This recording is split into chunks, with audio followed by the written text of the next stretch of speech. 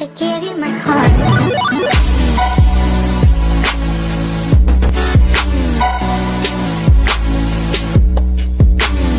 friends education Baba official YouTube channel पर आपका स्वागत है। सीटेट जुलाई 2020 की परीक्षा के लिए हम बाल विकास एवं शिक्षा शास्त्र से संबंधित 500 महत्वपूर्ण प्रश्नों की सीरीज़ कर रहे हैं। इस सीरीज़ के अंतर्गत यह हमारा आज पांचवा दिन है। इसके अंतर्गत यह यह छठवां भाग है। अगर आपको हमारी वीडियो पसंद आ रही हो तो लाइक करें और अपने मित्रों के साथ शेयर अवश्य करें।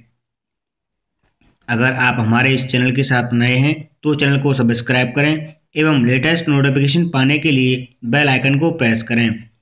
अगर आप डेली पीडीएफ नोट चाहते हैं तो हमारे डिस्क्रिप्शन में दिए गए टेलीग्राम ग्रुप को ज्वाइन कर सकते हैं। बढ़ते हैं आज के पहले प्रश्न की ओर।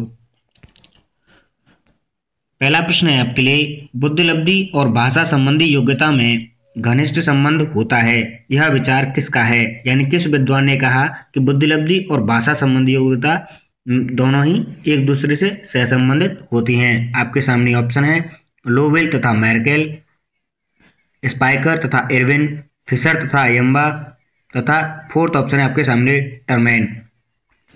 तो स्पाइकर एवं एरविन ने बताया कि बुद्धि और भाषा दोनों ही आपकी घनिष्ठ घनिष्ठ संबंधित होती हैं। नेक्स्ट ऑप्शन है आप क्वेश्चन है आपके लिए, निम्नलिखित में से क्या भाषा दोष नहीं है? पहला है ध्वनि में अशुद्ध उच्चारण होना। दूसरा है आपके लिए ध्वनि का अत्यंत तीव्र होना। थर्ड ऑप्शन है आपके लिए ध्वनि के प्रतिस्थापन का न होना। फोर्थ है ध्वनि में पुनरावृत्ति होना। तो इसमें आपसे पूछा गया कि निम्नलिखित में से भाषा दोष नहीं है। नहीं के लिए आप थर्ड पॉइंट क्यों? भाष, ध्वनि के प्रतिस्थापन का न होना। बिल्कुल सही उत्तर होगा। नेक्स्ट है आपके लिए बुद्धि के बहुकारक सिद्धांत के मुख्य समर्थक थांडाइक थे। निम्नलिखित में से कौन सा कथन थांडाइक के सिद्धांत के अनुरूप है। बुद्धि कई तत्वों का समूह होती है और प्रत्येक तत्व में कोई सूक्ष्म योग्यता निहित होती है। नेक्स्ट है आपका, कुछ मानसिक क्रियाओं में एक तत्व, प्रमुख तत्व सामान्य रूप से विद्यमान होता है, जो उन क्रियाओं के कई ग्रुप होते हैं, जो उनमें से प्रमुख तत्व होता है। आपके सामने नेक्स्ट ऑप्शन है। व्यक्ति का बौद्धिक व्यवहार अनेक स्वतंत्र योग्यताओं पर निर्भर करता है। किंतु इन स्वतंत्र योग्यताओं का क्षेत्र सीमित होता है। फोर्थ ऑप्शन है आपके सामने। सभी प्रकार के मानसिक कार्यों में दो प्रकार की मानसिक योग्यताओं की आवश्यकता होती है। प्रथम, सामान्य एवं विशिष्ट। तो आपका यह तो द्विकारक सिद्धांत हुआ तो बहुकारक सिद्धांत से कोई मतलब नहीं रहा इसका।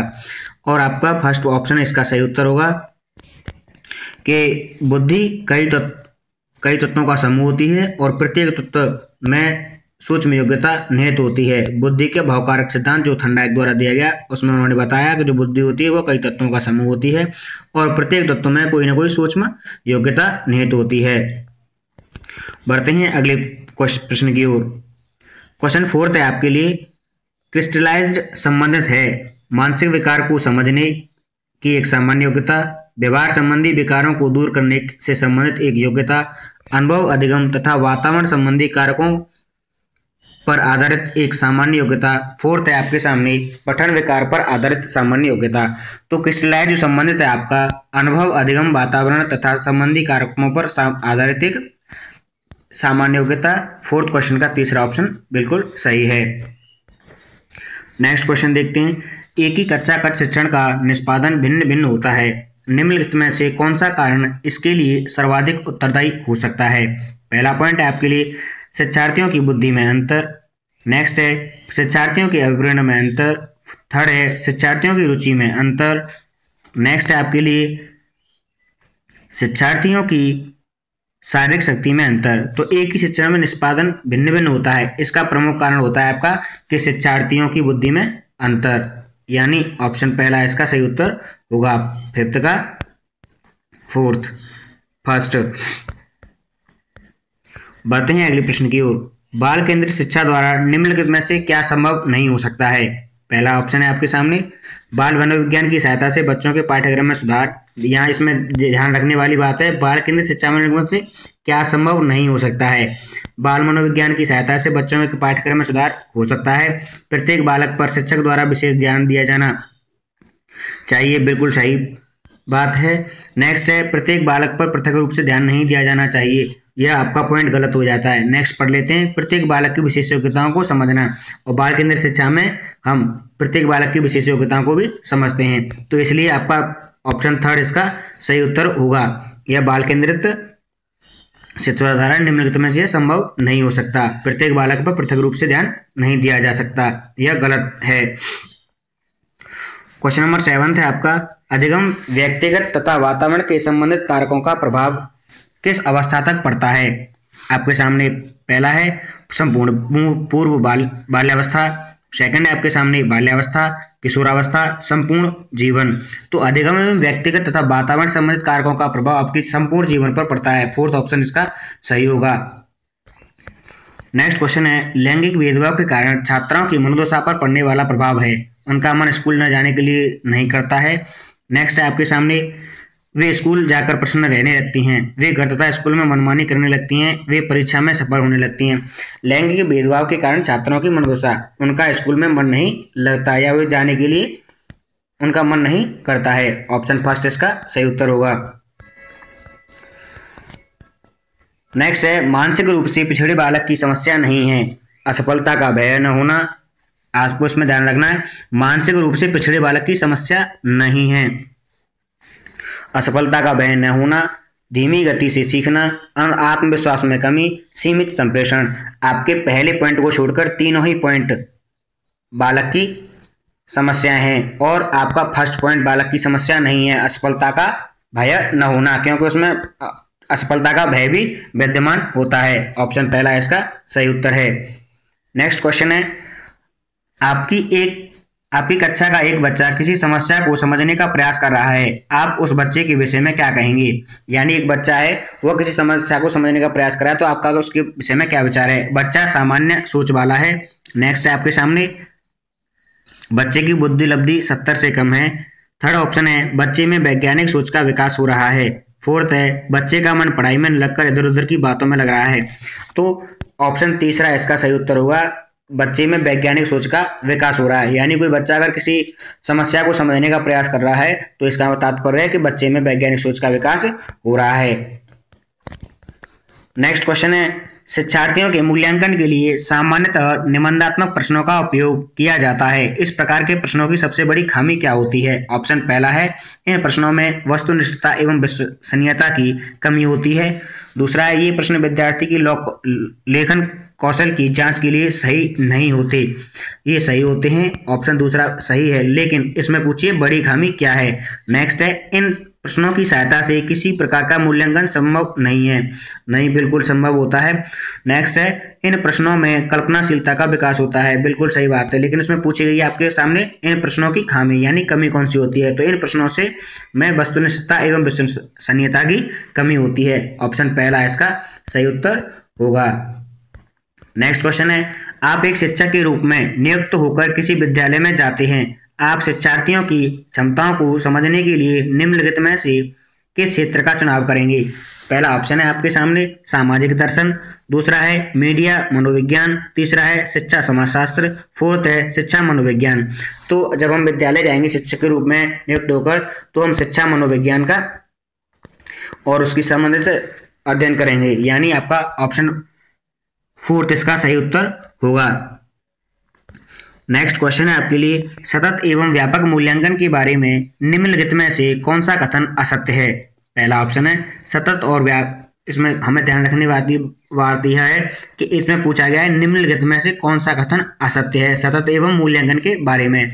तो पहला ऑप्शन है आपके सामने, सतत और व्यापक मूल्यांकन के सतत पहलू के अंतर्गत मूल्यांकन के सतत और आवधिक पहलू का ध्यान रखा जाता है। बिल्कुल सही बात है। इसमें हर प्रत्येक पहलू का ध्यान रखा जाता है। नेक्स्ट है, व्यापक संगठक विद्यार्थियों के विकास की शैक्षिक और इसके अलावा सहशैक्षिक पहलू का निर्धारण शामिल है। सही है। इसमें शिक्षार्थियों की उपलब्धियों का मूल्यांकन अंकों के रूप में होता है। यह आपका सही नहीं है। फोर्थ, देखिए, इसमें मूल्यांकन की बहुविध तकनीक का उपयोग अनौपचारिक रूप से किया जाता है। यह भी पॉइंट आपका सही है। तो इसमें आपसे पूछा गया था, निम्न से कौन सा कथन असत्य है? तो आपका तीसरा पॉइंट इसका असत्य है। यानी इसका सही उत्तर होगा ऑप्शन थर्ड इसमें शिक्षार्थियों की उपलब्धियों का मूल्यांकन अंकों के रूप में होता है। नेक्स्ट क्वेश्चन देखिए, आप अपनी कक्षा में अधिगम की गति तेज कर सकते हैं। यदि वास्तविक दुनिया से उदाहरणों को कक्षा में लाया जाए जिसमें शिक्षार्थी एक दूसरे से अंतर क्रिया करें और शिक्षक उस प्रक्रिया को सुगम बनाए। नेक्स्ट है, कक्षा में अधिक से अधिक शिक्षण सामग्री का प्रयोग किया जाए। थर्ड है, शिक्षक विभिन्न प्रकार की व्याख्यान और स्पष्टीकरण का प्रयोग करे। फोर्थ है, कक्षा में आवधिक परीक्षाओं पर ध्यान दिया जाए। तो आपको उसमें पूछा गया है कि आप अपनी कक्षा में अधिगम को गति किस प्रकार से तेज कर सकते हैं। तो पहला पॉइंट इसका सही होगा। वास्तविक दुनिया से उदाहरणों को कक्षा में लाया जाए, जिससे विद्यार्थी एक दूसरे से अंतर करें और शिक्षक उस प्रक्रिया को सुगम बनाए। फ़र्स्ट पॉइंट इसका सही होगा। नेक्स्ट क्वेश्चन है आपके सामने। बालक की रुचि विद्यालय में बढ़ाने के लिए क्या किया जाना चाहिए? यानी बच्चे की रुचि को विद्यालय में बढ़ाना है तो उसके लिए हमें क्या करना चाहिए? पहला पॉइंट है आपके सामने, विद्यालय के वातावरण की विद्यालय का वातावरण, बालक के अनुकूल किया जाना चाहिए। दूसरा पॉइंट है, बालक को विद्यालय में रोक कर रखना चाहिए। नेक्स्ट है, बालक के माता पिता को विद्यालय आने से रोक रोका जाना चाहिए। फोर्थ है, बालक की सभी शैक्षणिक गतिविधियों द्वारा माता पिता द्वारा संपन्न की जानी चाहिए। तो आपका फ़र्स्ट ऑप्शन इसका सही उत्तर होगा। बालक का वातावरण के, विद्यालय का वातावरण के अनुकूल किया जाना चाहिए। यानी जो बालक है, उसके अनुकूल अगर विद्यालय का वातावरण होगा तो बच्चे की विद्यालय की प्रति रुचि बढ़ेगी। नेक्स्ट है आपके सामने। जब किसी क्रिया को बार बार दोहरा जाए, दोहराया जाता है तो अस्वाभाविक उद्दीपक भी वही क्रिया प्रतिक्रिया देने लगता है, जो स्वाभाविक उद्दीपक देता है। यह अधिगम में से कौन सा सिद्धांत है? यानी अगर किसी प्रक्रिया को बार बार दोहराया जाता है तो अस्वाभाविक जो उद्दीपक होता है, वह प्रतिक्रिया देने लगता है। यानी स्वाभाविक उद्दीपक देता है। अब इसमें यह आपके चारों सिद्धांतों में से किस सिद्धांत है? पहला है आपका सामने अंतर्दृष्टि का सिद्धांत, दूसरा है शास्त्रीय अनुबंधन का सिद्धांत, थर्ड है अनुकरण का सिद्धांत, और फोर्थ है आपका अनुभवजन्य का सिद्धांत। तो आपका यह शास्त्रीय अनुबंधन का सिद्धांत है। यह आपका शास्त्रीय अनुबंधन, जिसे हम क्लासिकल थ्योरी के नाम से भी जानते हैं। ऑप्शन दूसरा इसका सही उत्तर होगा। नेक्स्ट है, आपने अपनी कक्षा के शिक्षार्थियों को पूरी कक्षा में कहीं पर बैठने की अनुमति दे देते हैं। उनमें से कुछ छात्र समूह कर बनाकर पढ़ते हैं तथा तो कुछ छात्र चुपचाप बैठकर अपने आप पढ़ते हैं। परंतु आपकी कक्षा के कुछ शिक्षार्थियों कि अभिभावकों को यह पसंद नहीं आता। इस स्थिति में आपका बेहतर तरीका क्या होगा? पहला ऑप्शन है आपके सामने, अभिभावकों को प्रधानाचार्य से शिक्षक की शिकायत करनी चाहिए। दूसरा है, अभिभावकों को शिक्षक पर विश्वास व्यक्त करना चाहिए और समस्या का चर्चा करनी चाहिए। नेक्स्ट है, अभिभावकों को उस विद्यालय में अपने बच्चों से निकाल लेना चाहिए। गलत है बिल्कुल यह पॉइंट बच्चों को निकालने से क्या हो रहा है? नेक्स्ट है, अभिभावकों को स्वयं कक्षा में जाकर पढ़ाना चाहिए, यह भी गलत है। तो आपको देखना है कि अगर आप कुछ बच्चों को क्या करते हैं कि विद्यालय में समूह में बच्चे पढ़ सकें, इसलिए आप बच्चों का एक ग्रुप बना देते हैं अलग अलग बच्चे बैठते हैं तो उसमें कुछ बच्चे नहीं पढ़ रहे होते हैं। और कुछ अभिभावकों ऐसा करना आपका गलत लगता है। तो आप क्या करेंगे कि अभिभावकों को शिक्षक पर विश्वास व्यक्त करना चाहिए और समस्या की चर्चा करनी चाहिए। ऑप्शन दूसरा इसका, सही उत्तर होगा। नेक्स्ट क्वेश्चन है, जब किसी किशोर में किसी वस्तु, समस्या या परिस्थिति के लिए निजी स्तर पर निर्णय लेने की क्षमता का विकास परिपक्व होने लगता है तो इस विकास को कहते हैं। पहला आपका है, परिपक्वता। सेकंड है, संज्ञात्मक विकास। तीसरा है, आध्यात्मिक विकास। इनमें से कोई नहीं। यानी कोई आपका किशोर है जो है, वह किसी वस्तु या समस्या संबंधी परिस्थिति को निजी राय लेने की या निर्णय क्षमता लेने का क्षमता विकास हो गया उसमें तो वह आपका संज्ञानात्मक विकास को दर्शाता है। ऑप्शन दूसरा इसका, सही उत्तर होगा। नेक्स्ट है, आपकी कक्षा का एक शिक्षार्थी पढ़ने में बहुत तेज है और वह सातवीं कक्षा में होती हुई भी दसवीं कक्षा के विषयों को आसानी से समझ लेता है। उस इस, उसकी इस व्यक्तिक भिन्नता का कारण है।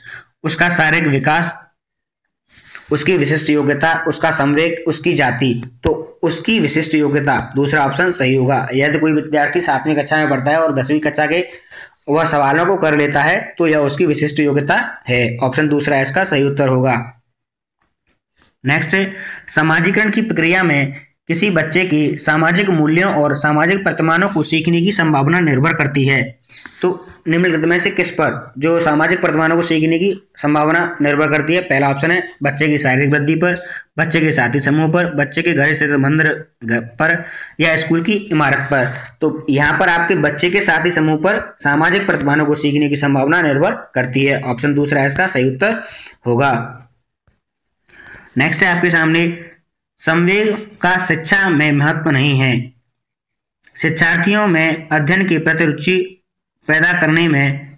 दूसरा, महत्व नहीं है इस बात का भी ध्यान रखना है हमें। दूसरा है, शिक्षार्थियों में समाज के अनुकूल व्यवहार करने की, शैक्षिक की क्षमता पैदा करने में। तीसरा है आपका, शिक्षार्थियों को असभ्य बनाने में। और फोर्थ है शिक्षार्थियों को शिष्ट बनाने में। तो शिक्षा, संवेगों का शिक्षा में महत्व नहीं है। आपका शिक्षार्थियों को असभ्य बनाने में। फोर्थ थर्ड ऑप्शन इसका सही उत्तर होगा। क्योंकि आपकी शिक्षा, जो संवेग होते हैं, वो शिक्षार्थियों असभ्य थोड़ी बनाते हैं। इसलिए तीसरा पॉइंट इसका सही है। नेक्स्ट है, सीखने में प्रेरणा का स्थान अत्यंत महत्वपूर्ण है, क्योंकि इससे बालकों में व्यक्तिगत विभिन्नताओं में कमी होती है नेक्स्ट है, शारीरिक विकास होता है, अनुशासन की भावना का विकास होता है, सामाजिक गुणों सीमित रहते हैं। तो आपका ऑप्शन तीसरा इसका सही है, क्योंकि सीखने में प्रेरणा का स्थान अत्यंत महत्वपूर्ण हो रहा है और इससे अनुशासन की भावना का विकास होता है। नेक्स्ट क्वेश्चन देखिए। निचली कक्षाओं में शिक्षण की खेल पद्धति का मूल रूप से आधारित है, यानी जो छोटी कक्षाएँ होती हैं, उनमें जो खेल पद्धति, वो किस पर आधारित है, मूल रूप से? नंबर पहला है आपके सामने, शारीरिक शिक्षा कार्यक्रम के सिद्धांत पर, शैक्षिक पद्धतियों के सिद्धांत पर, विकास एवं वृद्धि के मनोवैज्ञानिक सिद्धांतों पर, या फिर आपके सामने ऑप्शन है शिक्षण के समाजशास्त्री सिद्धांतों पर। तो आपका ऑप्शन तीसरा इसका सही उत्तर होगा, विकास एवं वृद्धि के मनोवैज्ञानिक सिद्धांतों के आधार पर।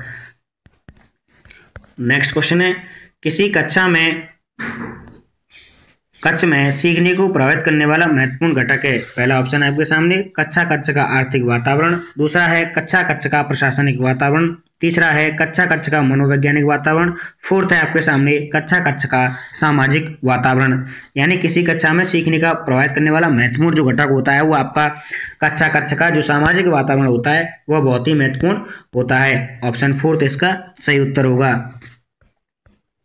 नेक्स्ट है, समावेशी शिक्षा का मुख्य उद्देश्य क्या होता है? यानी आपकी जो समावेश शिक्षा जो होती है, उसका मुख्य उद्देश्य समावेशन, विशेष शिक्षा, सामान्य व्यवस्था या वितरित व्यवस्था। तो आपकी जो मुख्य विशेषता है, वह समा, समावेशन इंक्लूजन फ़र्स्ट पॉइंट इसका सही होगा।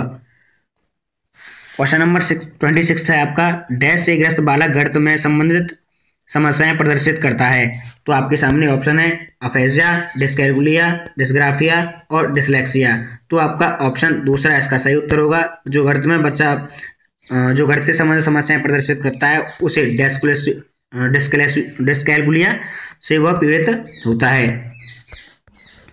नेक्स्ट क्वेश्चन है आपका। बुद्धि परीक्षण, वे परीक्षण हैं जिनमें अमूर्त चित्रों, निर्जीव पदार्थों जामिति चित्रों आदि का प्रयोग होता है। तो आपके सामने ऑप्शन है, चार चारों में से आपका एक ऑप्शन सही होगा। फ़र्स्ट है आपके सामने शाब्दिक, दूसरा है व्यक्तिगत, तीसरा है शाब्दिक और सामूहिक। यानी आपके सामने अमूर्त चित्र हैं निर्जीव पदार्थ हैं तो यह सब आपके सभी अशाब्दिक बुद्धि परीक्षण के अंतर्गत आते हैं। यानी ऑप्शन तीसरा इसका सही उत्तर होगा। नेक्स्ट क्वेश्चन, शिक्षार्थियों की आकलन का प्रयोजन नहीं है। हमें इस बात का ध्यान रखना है, इसमें नहीं शब्द का प्रयोग किया गया है। पहला है आपके सामने कि शिक्षार्थियों को व्यक्तिगत पक्षों को जांचना सही बात है, यह आपका पॉइंट सही है। नेक्स्ट है, शिक्षार्थियों के प्रति अभिलेखित करना बिल्कुल सही है। स्व आकलन के माध्यम से शिक्षार्थियों की अधिगम प्रक्रिया में शामिल करना सही है। शिक्षक तथा शिक्षार्थी के मध्य सहयोगात्मक व कार्यकलाप के प्रयास को धीमा करना, यह कथन इसका गलत है। यानी आपका फोर्थ ऑप्शन इसमें सही होगा।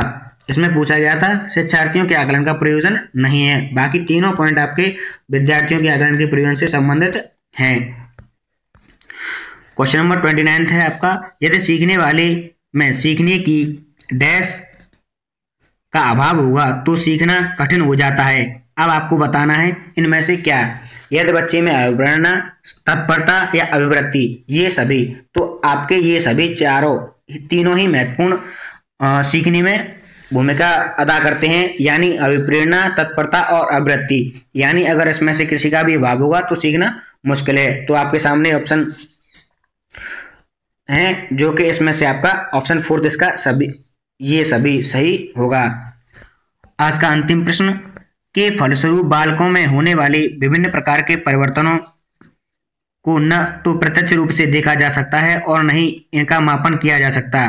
पहला ऑप्शन है आपका वृद्धि विकास, दूसरा व्यक्तित्व और फोर्थ है समायोजन। तो आपका जो विकास होता है, विकास के फलस्वरूप बालकों में जो परिवर्तन होते हैं, न तो उनको प्रत्यक्ष रूप से देखा जा सकता है और नहीं इनका मापन किया जा सकता है। तो आपका फ़र्स्ट पॉइंट, दूसरा, इसमें विकल्प सही होगा।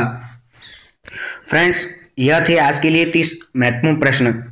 अगर आपको हमारी वीडियो पसंद आई हो तो लाइक करें और अपने मित्रों के साथ शेयर ज़रूर करें। अगर आप इस चैनल के साथ नए हैं तो चैनल को सब्सक्राइब करें एवं लेटेस्ट नोटिफिकेशन पाने के लिए बेल आइकन को प्रेस करें। Thank you for watching